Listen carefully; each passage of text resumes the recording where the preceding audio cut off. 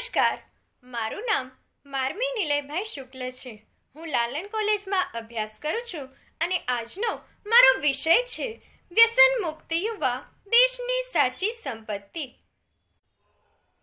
આતંકવાદ આતંકવાદ આતંકવાદ. વિશ્વમાં ફેલાઈ રહ્યો છે એક ભયંકર આતંકવાદ. આ આતંકવાદ દર વર્ષે વિશ્વમાં એક કરોડથી વધારે લોકોને રીબાવી રીબાવીને મારે છે.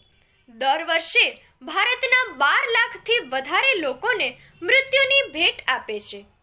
આશ્ચર્ય સાથે પ્રશ્ન થશે કે શેનો છે આ આતંકવાદ? કોણ છે આ આતંકવાદીઓ? મિત્રો, આ આતંકવાદીઓ બીજું કોઈ નહીં. એ છે બીડી, સિગરેટ, તમાકુ, ગુટકા, દારૂ અને ડ્રગ્સ. આ આતંકવાદીઓએ મચાવેલી આર્થિક, સામાજિક અને કૌટુંબિક પાયમાલીની વાતો કંપારે છોડાવી દે તેવી છે. આ આતંકવાદ હૃદયરોગ અને કેન્સર જેવા રોગોને પ્રોત્સાહન આપે છે. આ આતંકવાદ અનેક મહિલાઓને વિધવા બનાવે છે અને અનેક બાળકોને અનાથ બનાવે છે.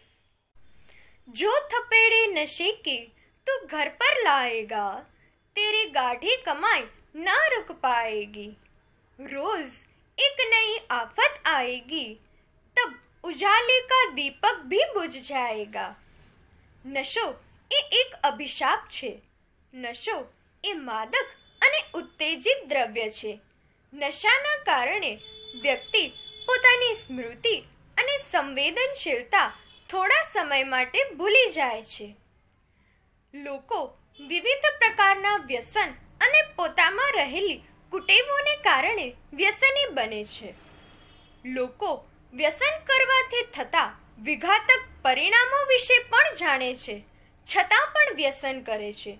એ માટે વ્યક્તિના સાથી અને સંજોગો મહત્વપૂર્ણ ભાગ ભજવે છે.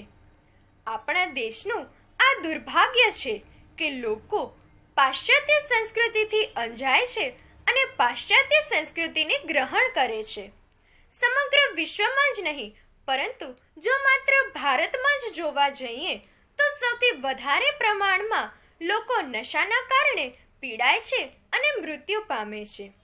વધુ અફસોસની વાત તો એ છે કે સમાજમાં વધતા નશાના શિકાર વધારેમાં વધારે યુવા વર્ગ છે. કોઈ પણ દેશનું ભાવિ અને પ્રગતિ દેશના યુવાનો પર નિર્ભર હોય છે.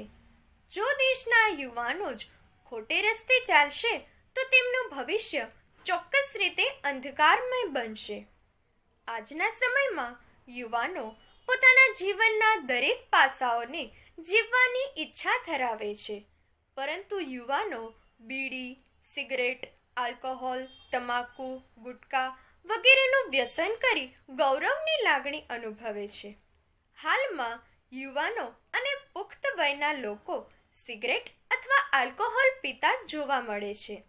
તેમને એ વાતની જરાય જાણ નથી કે આ વ્યસન તેમના માટે ભવિષ્યમાં હાનિકારક અથવા તો જીવલેણ પણ સાબિત થઈ શકે છે.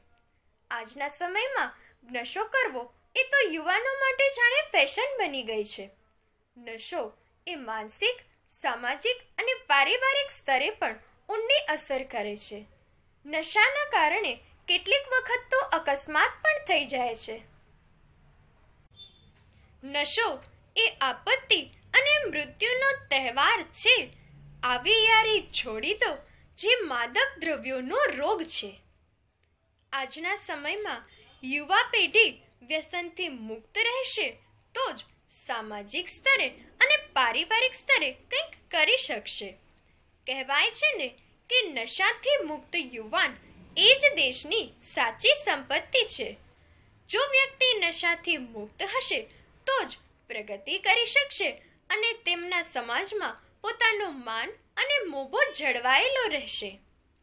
આજના સમયમાં જેમ જેમ વ્યસનની વ્યાપકતા વધતી જાય છે, તેમ તેમ યુવા પેઢીએ નશાથી દૂર રહેવું તેમાં જ તેમનું હિત રહેલું છે.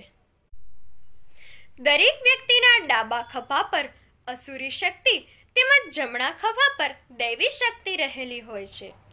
અસુરી શક્તિ વ્યક્તિને બીડી સિગરેટ, તમાકુ, આલ્કોહોલ વગેરે જેવા વ્યસનોનું સેવન કરવા તરફ પ્રેરે છે.